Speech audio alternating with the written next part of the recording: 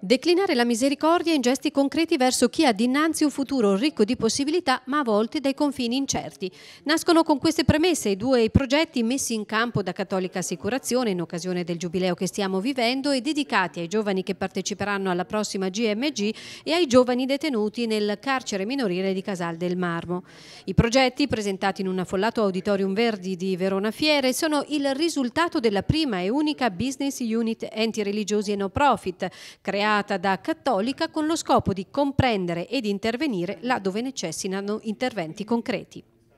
Eh, sono una serie di iniziative che vengono dalla, così, dalla,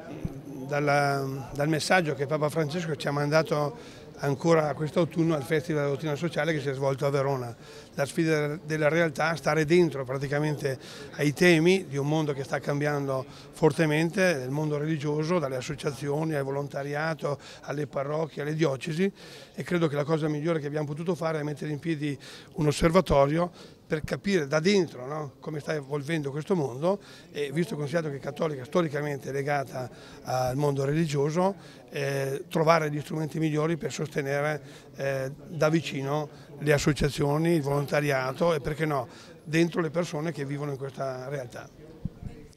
Ospite d'eccezione del convegno di Cattolica Monsignor Nunzio Galantino, il segretario generale della CEI, chiamato a parlare delle iniziative della Chiesa verso una società che cambia e che interpella tutti a dare risposte efficaci. Secondo me quello che si fa è già veramente tanto. È ovvio che man mano che andiamo avanti le esigenze crescono, le urgenze crescono, anche la complessità mh, chiede nuove attenzioni, nuovi strumenti. A Cattolica bisogna chiedere quello che si chiede a qualsiasi uomo e a qualsiasi donna in questo momento, cioè una attenzione particolare a coloro che da soli non ce la fanno, per cui coloro i quali hanno gli strumenti sia economici sia anche di, di capacità, no? eh, di avere un occhio attento a queste realtà, a queste persone, tenendo presente che andare incontro agli ultimi non è una perdita, è sempre un guadagno.